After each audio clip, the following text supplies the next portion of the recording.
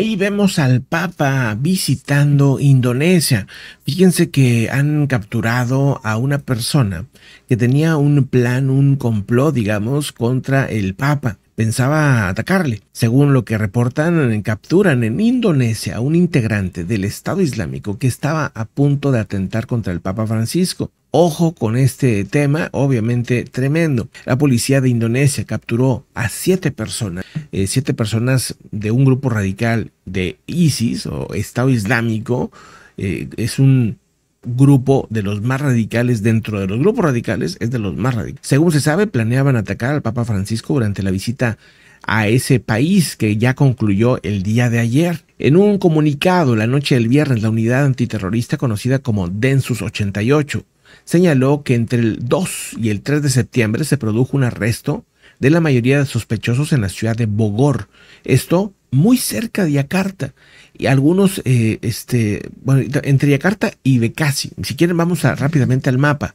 Es en esta parte de, Indonesia, en la, en la mera Yakarta, ¿haz de cuenta? Ahí, haz de cuenta, entre esta zona y este punto, miren. A, ver si me puedo acercar. Este es Yakarta, acá está Bekasi, de este lado, este pedacito. En medio, más o menos, es donde se habría detectado a este grupo radical, según lo que reportan. Es parte de la zona metropolitana de la capital, o sea, es parte de la ciudad, pero digamos que rumbo a Becasi, ahí donde los encuentran, según lo que reportan. Los capturados, solo identificados por sus iniciales hasta el momento, planeaban un ataque contra el Papa Francisco, según se sabe, el material encontrado durante el registro de esta vivienda de uno de estos detenidos. En este operativo las autoridades han requisado desde arcos y flechas, un dron, propaganda de ese grupo radical, entre otras cosas.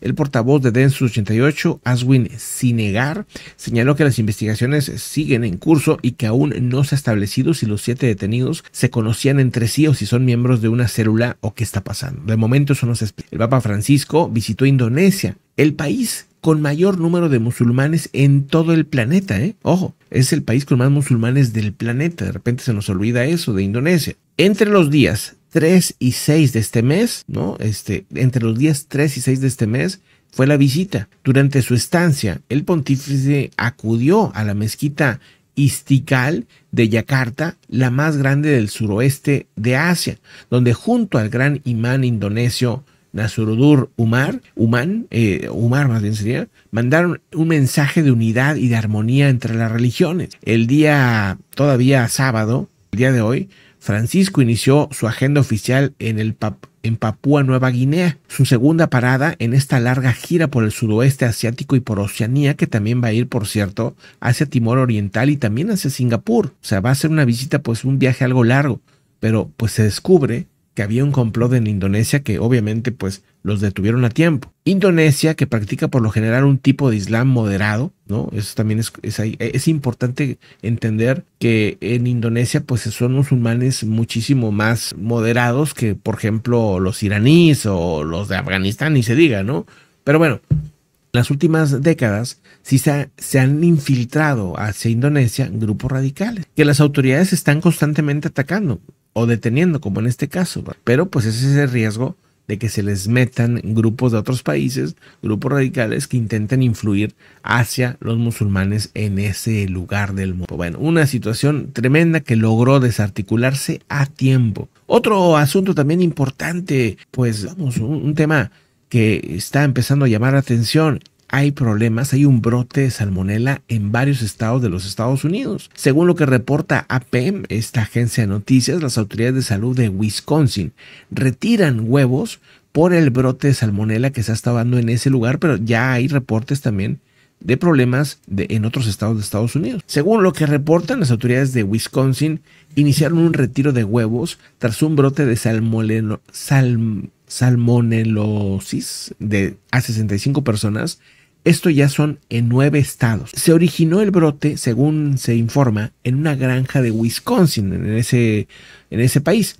El Departamento de Servicios de Salud de Wisconsin aseguró este fin de semana en un comunicado que entre las personas infectadas hay 42 de Wisconsin y los demás ya en otros nueve. Se cree que es donde se vendieron los huevos de Wisconsin. Según se sabe, se distribuyeron también en Illinois, obviamente en Wisconsin, Illinois, Michigan y otros estados de la zona. Esto a través de dónde? De tiendas minoristas y también de distribuidores de servicios de alimentos, según señala el departamento, que pues bueno, dice el retiro incluye todos los tipos de huevo, como los huevos de, de corral orgánicos sin OGM, así como también los tamaños de empaques y fechas de caducidad en contenedores etiquetados como Milos Poultry Farms o Tony's Fresh Market también. Los Centros también de Control y la Prevención de Enfermedades de CDC de Estados Unidos confirmaron en un comunicado publicado en su sitio web que estas 65 personas de nueve estados habían sido infectadas con la cepa de salmonela. Con de estos 65, 24 sí tuvieron que ir al, al hospital,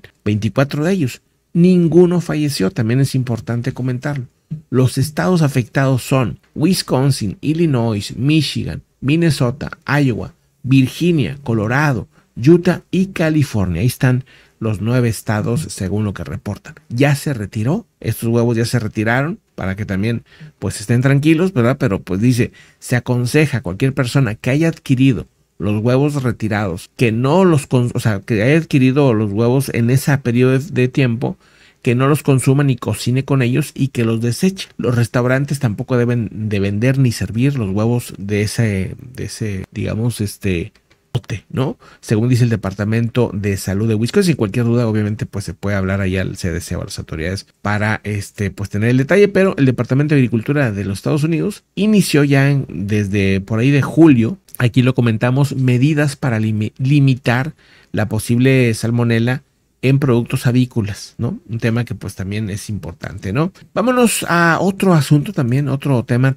importante. Aseguran que Vladimir Zelensky tiene ya un nuevo plan de paz, un plan que ya será presentado pronto a Biden, a Harris, a, Kamala Harris y también a el expresidente Trump, ya sea que quede Kamala o que quede Trump y que Biden, Biden también esté enterado, ¿no?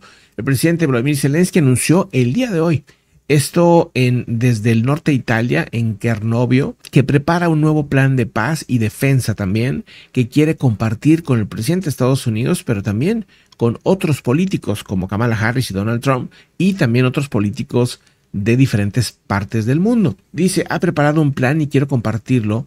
Y esto pues es parte de lo que se está dando allá en Italia. Y hay que recordar que el mismo Volodymyr Zelensky ahora mismo se encuentra en Italia y bueno, pues entre estas visitas y estos anuncios que se van a estar haciendo, pues es este que acabo de comentar, donde se observa pues que hay ya un plan de paz. Esto sería parte del plan de curso, o sea, el haber tomado ese pedazo de curso sería parte posiblemente de ese intercambio para recuperar tierras de Ucrania y regresar las tierras rusas según lo que se cree, porque hasta ahorita no hay información, o sea, no hay detalles de ese plan.